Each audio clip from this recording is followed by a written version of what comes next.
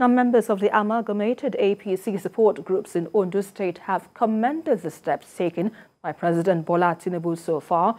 Members of the group at a news conference in Akure said the steps will bring rapid development to the country. Our correspondent Ayodeji Moradeyo has more this.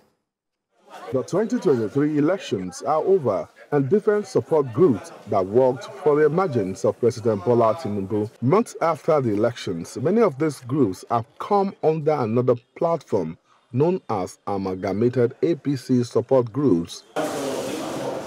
At this press briefing in Akure, Ondo State capital, the coordinator of the group expressed optimism that President Tinubu will bring rapid development to the country through impactful policies. They want the president to consider some of them for appointment, having worked for his electoral victory.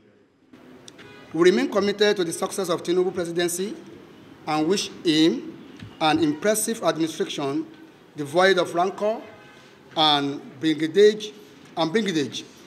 It is our sincere belief that Tinubu will excel beyond any comprehension and any stretch of human imagination. The reforms he has embarked upon, I believe, is going to speak unto memorial. He has started very well.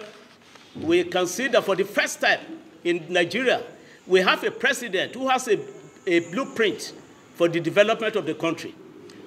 Other presidents before him, they came in by default.